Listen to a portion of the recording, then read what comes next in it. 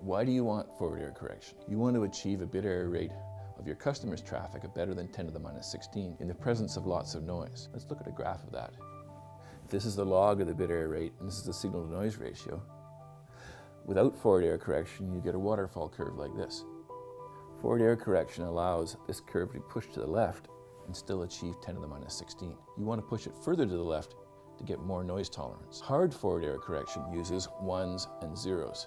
In contrast, soft forward error correction uses the log of the bit error rate. The Ciena WaveLogic Generation 3 achieves increased performance using soft forward error correction. This will give you higher capacity or tolerance to higher losses or almost twice the reach. With our superior implementation of SoftFEC, Ciena will continue to provide you the best performance for your network.